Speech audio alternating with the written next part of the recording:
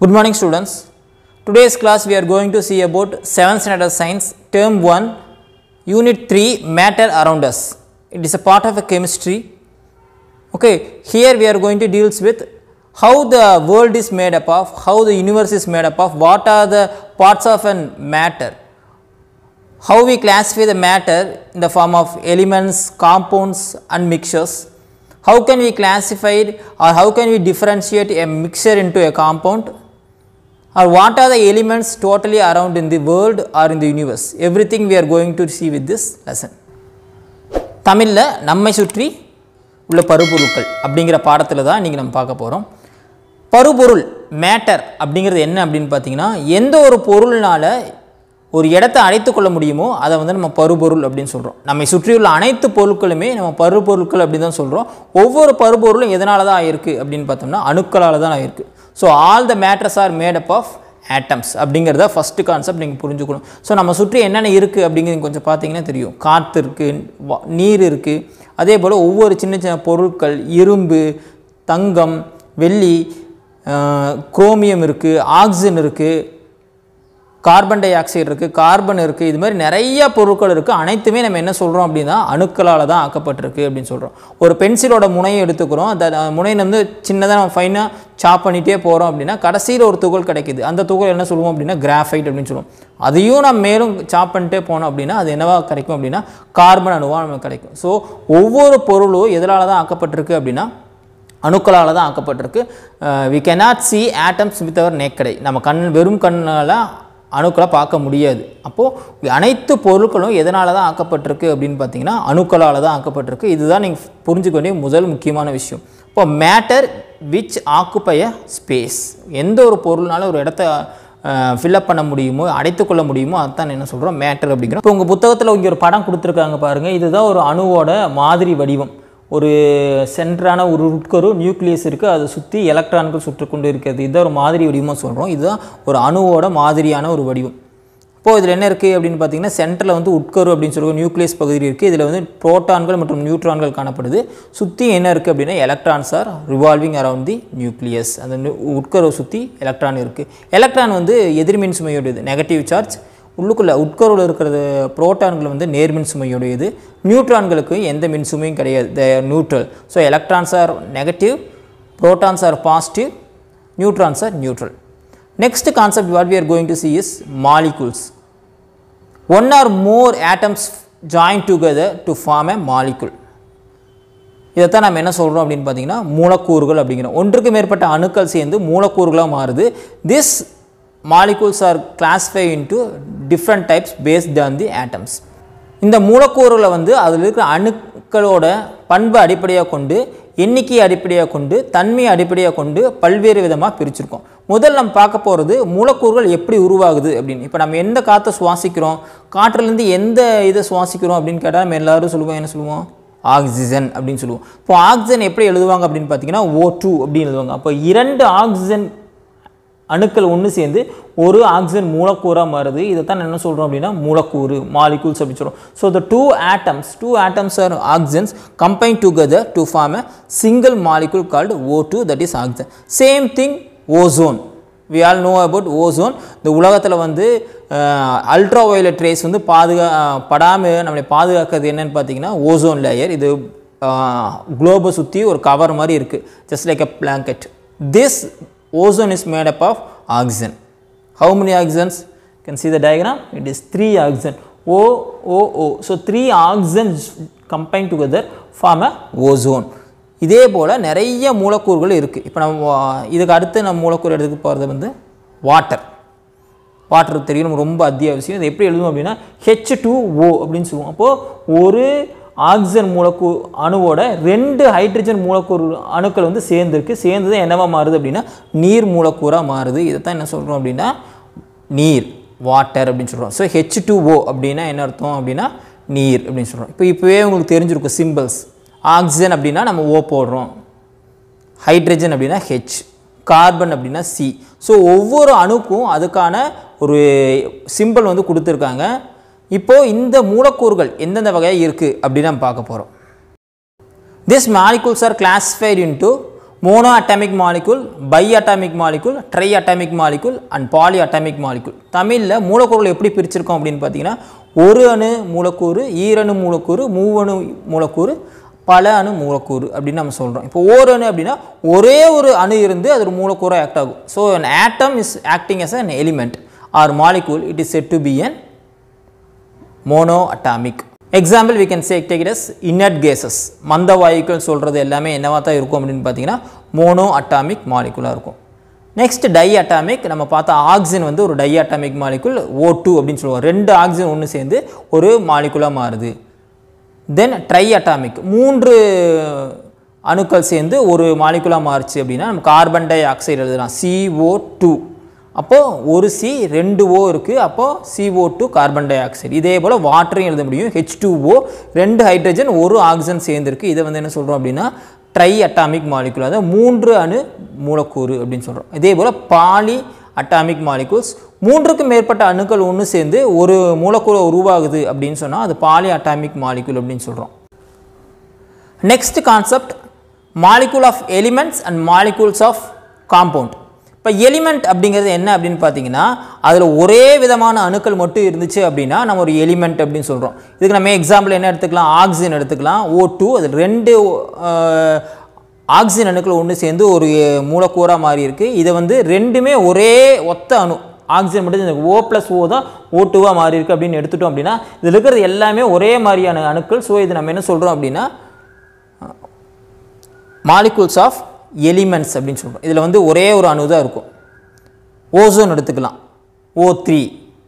இது வந்து ஒரே ஒரு அணு தான் இருக்குது இதே போல் மாலிகூல்ஸ் ஆஃப் காம்பவுண்ட்ஸ் காம்பவுண்ட் அப்படின்னா தெரிஞ்சிருக்கும். தமிழில் சேர்மம் அப்படின்னு சொல்கிறோம் ஒன்றுக்கு மேற்பட்ட அணுக்கள் அங்கே சேர்ந்துருக்கும். அதாவது பலவிதமான அணுக்கள் சேர்ந்து ஒரு மூலக்கூறு உருவாக்குது அப்படின்னா அது என்ன சொல்கிறோம் அப்படின்னு பார்த்தீங்கன்னா மாலிகூல்ஸ் ஆஃப் காம்பவுண்ட்ஸ் அப்படின்னு சொல்கிறோம் இங்கே வந்து பார்த்தீங்கன்னா நமக்கு எடுத்துக்காட்டு வாட்டர் எடுத்துக்கலாம். ஹெச் டூ ஓ அப்போ ஹைட்ரஜன் அணு இருக்குது அதேமாரி ஆக்சிஜன் அணுவும் இருக்குது இதை என்ன சொல்கிறோம் அப்படின்னா மாலிகூல்ஸ் ஆஃப் காம்பவுண்ட் இதில் வந்து ரெண்டு விதமான அணுக்கள் ஒன்று சேர்ந்து ஒரு மூலக்கூறாக மாதிரி இருக்குது இதை என்ன சொல்கிறோம் அப்படின்னா காம்பவுண்ட் அப்படின்னு சொல்கிறோம் உங்களுக்கு ஒரு அட்டவணை கொடுத்துருக்காங்க. அந்த அட்டவணையை பாருங்கள் ஃபஸ்ட்டு வந்து பாருங்கள் மாலிகுல் டயக்ராம் குளோரின் கேஸ் கொடுத்துருக்காங்க.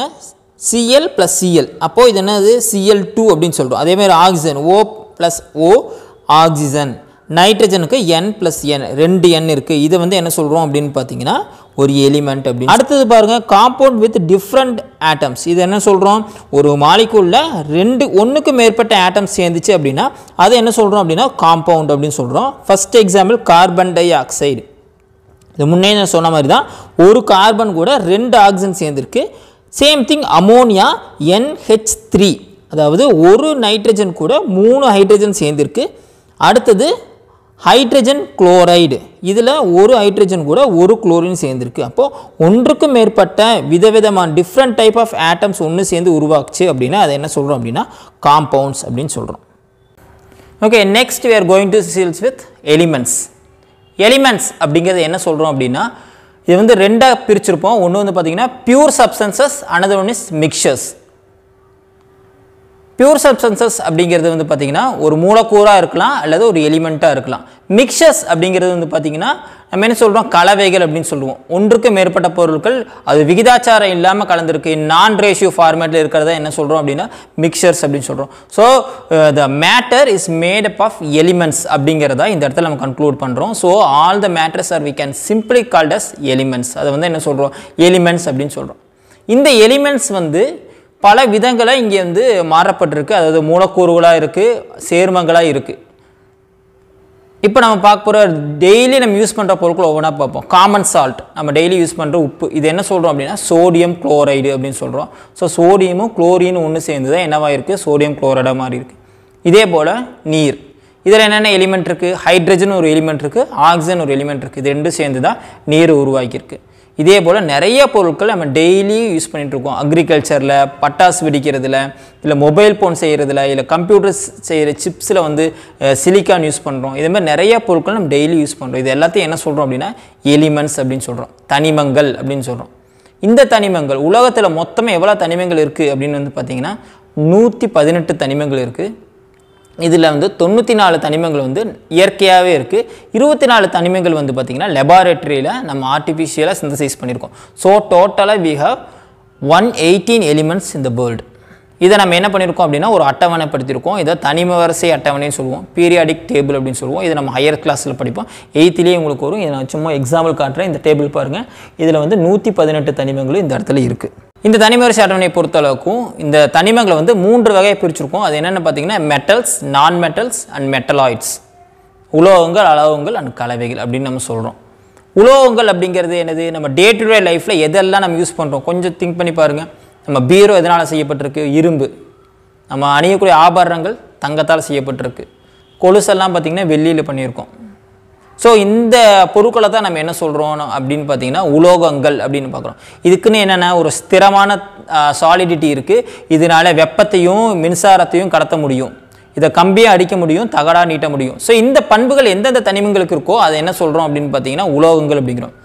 ஸோ இந்த மெட்டல்ஸ் ஆர் சோனாரஸ் கீழே போட்டால் சவுண்டு வரும். லஸ்ட்ரஸ் பல பளபளப்பாக இருக்கும். மின்னும் அப்படின்னு வச்சுக்கலாம். பளபளப்பாக இருக்குன்னு வச்சுக்கலாம். Next thing we can take it as malleable and ductile அப்படின்னு சொல்லுவாங்க. என்ன கம்பியாக நீட்லாம் தகடாக அடிக்க முடியும். Metals are good conductors of heat and electricity அதாவது வெப்பத்தையும் மின்சாரத்தையும் நன்றாக கடத்தக்கூடிய பொருட்களை தான் என்ன சொல்கிறோம் அப்படின்னா உலோகங்கள் அப்படின்னு சொல்கிறோம் இது தே ஆர் மோஸ்ட்லி சாலிட் எல்லாமே சாலிடாக தான் இருக்கும். திடமான பொருட்கள். ஒன்றே ஒன்று மட்டும்தான் இதுக்கு எக்ஸப்ஷனல் மெர்க்குரி மெர்க்குரி வந்து பார்த்திங்கன்னா லிக்விட் மெட்டல் இது மட்டும் லிக்விட் இருக்கும் மிச்சு எல்லா உலோகங்களும் எதிராக தான் இருக்கும்னா சாலிடாக தான் இருக்கும். இதை தான் நம்ம சொல்கிறோம் மெட்டல்ஸ் அப்படின்னு சொல்கிறோம் next we're going to see about non metals இப்போ மெட்டல்ஸ்க்கு என்னென்ன பண்புகள் இருந்துச்சோ அதுக்கு just opposite you cannot take it as malleable ductile web இது கம்பியாக நீட்ட முடியாது தகடாக அடிக்க முடியாது. இதை வச்சு என்ன பண்ண முடியாது? ஒரு வெப்பத்தை கடத்த முடியாது மின்சாரத்தை கடத்த முடியாது. இதெல்லாம் என்ன சொல்கிறோம் அப்படின்னா அலோகங்கள்னு சொல்கிறோம் இப்போ நம்ம டெய்லி யூஸ் பண்ணுற பொருட்கள் கால்சியம் பல்லு விளக்குறதுக்கு நம்ம யூஸ் பண்ணுற பேஸ்ட்டில் வந்து கால்சியம் அதிகமாக இருக்குது சுண்ணாம்பு வீட்டுக்கு சுண்ணாம்பு அடிக்கிறோம் அதில் கால்சியம் இருக்குது அதை நம்ம கம்பியாவோ தகடாவோ மீன் நீட்ட முடியுமா? முடியாது. இதெல்லாம் என்ன சொல்கிறோம் அப்படின்னா அலோகங்கள் அப்படிங்கிறோம். இப்போ மண் இருக்குது சேண்ட் இருக்குது அதில் வந்து பார்த்து சிலிக்கான ஒரு பொருள் இருக்குது இது என்னது? ரெண்டுக்கு நடுவில் இருக்கிற மாதிரி சில பொருட்கள் இருக்குது இதை என்ன சொல்கிறோம் அப்படின்னா மெட்டலாய்டு அப்படிங்கிறோம். ஸோ இந்த metalloids exhibit or have the properties of both metal and non metal உலோகம் மற்றும் அலோகம் ரெண்டோட பண்புகளும் அதுக்கு இருந்துச்சு அப்படின்னா அது என்ன சொல்கிறோம் அப்படின்னா மெட்டலாய்டுகள் அப்படின்னு நம்ம சொல்கிறோம் now you can see the tabular column metals and non metals metals are lustrous having shiny surface non மெட்டல்ஸ்க்கு வந்து சைனி சர்ஃபேஸ் கிடையாது so there non lustrous metals are generally hard non metals are generally soft most metals can be bend beaten into sheets they can drawn into wires அது என்ன பண்ண முடியும்? கம்பியாக நீட்ட முடியும் தகடாக அடிக்க முடியும். இப்போ நம்ம சன்ன கம்பி கடையெல்லாம் பார்த்துருக்கோம் பார்த்தீங்களா? தங்க நகையில் பண்ணுறது அந்த மாதிரியெல்லாம் பண்ண முடியும். நம்ம ஒரு ஒயர் எடுக்கிறோம் அப்படின்னா உள்ளுக்குள்ளே வந்து காப்பர் இருக்கும். அப்போது ஒரு கம்பியாவோ தகடாவோ அடிக்க முடிஞ்சு அப்படின்னா அது என்ன சொல்கிறோம் அப்படின்னா மேலேபிள் போல டக்டைல்னு சொல்லுவோம். நான் மெட்டலில் அப்படி பண்ண முடியாது. Most metals are good conductors of heat and electricity இங்கே வந்து பார்த்தீங்கன்னா நான் மெட்டல்ஸ் ஆர் புவர் கண்டக்டர்ஸ் இல்லாட்டி ஹீட் அண்ட் கண்டக்டர்ஸ் வந்து ரொம்ப பேடாக இருக்கும் அப்படின்னு சொல்கிறாங்க metals makes ringing sound when we struck அதான் என்ன சொல்லுவோம் சோனாரஸ் அப்படின்னு ஒரு வார்த்தை சொன்னோம் பார்த்தீங்களா அந்த சோனாரஸ் அது வந்து அடித்தோம்னா சவுண்டு வரும். ஒரு பெல் அடித்தோம்னா சவுண்டு வருது. ஒரு இரும்பு சீட்டை போய் அடித்தோம்னா சவுண்டு வருது. நான் மெட்டல் அப்படி இருக்காது. ஸோ இதை தான் என்ன சொல்கிறோம் அப்படின்னா difference between metals and non metals இது நல்லா படிச்சுக்கங்க. இதுலேருந்து அதிகப்படியான கேள்விகள் வரக்கு வாய்ப்பு இருக்குது the next is symbols of elements so element அப்படின்னா அதுக்கு ஒரு சிம்பிள் கொடுக்கணும் அப்படிங்கிற கான்செப்ட் வந்து இருக்குது இது international union of pure and applied chemistry அப்படிங்கிற ஐயூ பேக் அப்படின்னு சொல்லுவோம். இதுதான் ஃபஸ்ட் ஃபஸ்ட்டு கொண்டு வராங்க. டால்டன் அப்படிங்கிற சயின்டிஸ்ட் தான் ஃபஸ்ட் ஃபஸ்ட்டு ஒரு ஆட்டத்துக்கு இல்லை ஒரு எலிமெண்ட்டுக்கு வந்து நம்ம சிம்பிள் கொடுக்கணும் அப்படின்னு கொண்டு வராங்க. It take long period of history to giving a perfect symbol or perfect symbol to the an element இது மோஸ்ட்லி எந்த லாங்குவேஜில் இருக்குது அப்படின்னா க்ரீக் அண்ட் லாட்டின் லாங்குவேஜிலிருந்து தான் டிரைவ் ஆகி வந்திருக்கும். ஓகே இப்போ நம்ம அயன் அப்படின்னு சொல்கிறோம் இரும்பு. இதுக்கு என்னவாக இருக்கணும்? இப்போ நான் ஃபஸ்ட்டு ஆக்சிஜன் கொடுத்துக்குவோம் ஆக்சிஜன் அப்படின்னா ஓ அப்படின்னு கொடுத்துட்டோம். ஸோ ஃபஸ்ட் லெட்டர் ஓ இதே மாதிரி அயனுக்கு என்னவாக இருக்கும் அப்படின்னா நம்ம ஐ அப்படின்னு சொல்லுவோம். இல்லை. அயனுக்கு வந்து எஃப்இ ஃபெரஸ் e, அப்படிங்கிற க்ரீக் அண்ட் லேட்டின் டேமில் இருந்த லெட்டர் தான் நம்ம கொடுத்துருக்காங்க. ஸோ இதுதான் என்ன சொல்கிறோம் அப்படின்னா சிம்பிள் ஆஃப் அன் ஆட்டம் ஒவ்வொரு ஆட்டத்துக்கும் அது ஒவ்வொரு எலிமெண்ட்டுக்கும் we are giving a symbol just we have an example ஒரு ஆக்டிவிட்டி கொடுத்துருக்காங்க. இதை நான் சொல்கிறேன் நீங்கள் நோட் டவுன் பண்ணிட்டே வாங்க. இதுக்கான ஆன்சர்ஸும் நான் கொடுக்குறேன். Gold silver copper iron nitrogen K oxygen aluminium calcium phosphorus magnesium potassium and sodium இதுக்கு நான் சிலதுக்கு நான் சொல்கிறேன் ரிமைனிங்க்கு மட்டும் நீங்கள் தேடி கண்டுபிடிங்க. அயனுக்கு நான் சொல்லிட்டேன். எஃப்இ நைட்ரஜனுக்கு என் ஆக்சிஜனுக்கு O அலுமினியத்துக்கு AL potassium K sodium NA இப்போ நான் சொன்னதை தவிர மிச்சம் எல்லாத்துக்கும் நீங்கள் என்ன பண்ணுறீங்க அப்படின்னா அதுக்கான ஆன்சர்ஸ் வந்து கண்டுபிடிச்சி எழுதுங்க. Next is elements and human body நம்ம உலகம் எப்படி நம்ம எலிமெண்ட்ஸால் ஆக்கப்பட்டிருக்கோ அதே மாதிரி நம்ம பாடியும் எலிமெண்ட்ஸால் தான் ஆக்கப்பட்டிருக்கு. பெரும்பாலும் நம்ம பாடியில் இருக்கிற ஆறு தனிமங்களை பற்றி தான் நம்ம பார்க்க போகிறோம் அது என்னென்ன அப்படின்னு பார்த்தீங்கன்னா oxygen carbon hydrogen nitrogen calcium and phosphorus இதுதான் நம்ம உடம்புல இருக்கிற ninety nine percentage of element வந்து இந்த ஆறு எலிமெண்ட் தான். இதை தவிர வேறு கொஞ்சம் அமௌண்ட் என்னென்ன இருக்குது அப்படின்னு பார்த்தீங்கன்னா potassium sulphur sodium chlorine and magnesium இது எல்லாம் சேர்ந்து தான் நம்ம மொத்த பாடியுமே உருவாக்கியிருக்கு. The next is elements in air atmosphere பற்றி பார்த்தோம் அப்படின்னா ஏரில் ninety nine percentage of air வந்து it's made up of nitrogen and oxygen remaining one பர்சன்டேஜில் தான் இனர்ட் கேஸஸ் கார்பன் ஹைட்ரஜன் இது எல்லாமே வருது. ஆனால் உலகத்தில் எடுத்துட்டோம் அப்படின்னா அதிகமாக அபண்டண்ட்டாக இருக்கிற எலிமெண்ட் என்ன அப்படின்னு பார்த்தோம்னா ஹைட்ரஜன் யூனிவர்ஸில் ஃபுல்லாகவே ஹைட்ரஜன் தான் நிறைய இருக்குது ஆனால் நம்ம அட்மாஸ்பியரை பொறுத்தளவுக்கு நைட்ரஜனும் ஆக்சிஜனும் தான் ninety nine percentage of element வந்து இது ரெண்டு தான். ஓகே ஸ்டூடெண்ட்ஸ் இப்போ இந்த லெசனில் எலிமெண்ட்ஸ் வரைக்கும் பார்த்துருக்கோம். நெக்ஸ்ட் பார்ட்டில் வந்து காம்பவுண்ட்ஸில் என்னென்ன விஷயங்கள் இருக்குது இதில் நிறைய ஆக்டிவிட்டீஸ் கொடுத்துருக்காங்க. அந்த எல்லா ஆக்டிவிட்டீஸையும் நம்ம ஹேண்ட்ஸ் ஆன் பண்ணுற மாதிரி நெக்ஸ்ட் கிளாஸில் பார்ப்போம். ஸோ இது வரைக்கும் நம்ம என்னென்ன பார்த்துருக்கோம் அப்படின்னா மேட்டர் அரௌண்டர்ஸ் நம்மளை சுற்றி இருக்கிற பொருள் பொருட்கள் எதனால் ஆக்கப்பட்டிருக்கு அணுக்கள்னா என்ன தனிமங்கள்னா என்ன தனிமங்களுக்கு ஏன் நம்ம சிம்பிள் கொடுத்துருக்கோம் தனிமங்களுக்கும் மூலக்கூறுகளுக்கும் என்ன? ஒரு தனிமத்தை வந்து எப்படி பிரிச்சிருக்கோம் metals non metals and metalloids இதோட பண்புகள் என்ன? இது எல்லாமே நம்ம பார்த்துருக்கோம். அடுத்த வீடியோவில் சேர்மங்களை பற்றி நம்ம விரிவாக பார்ப்போம்.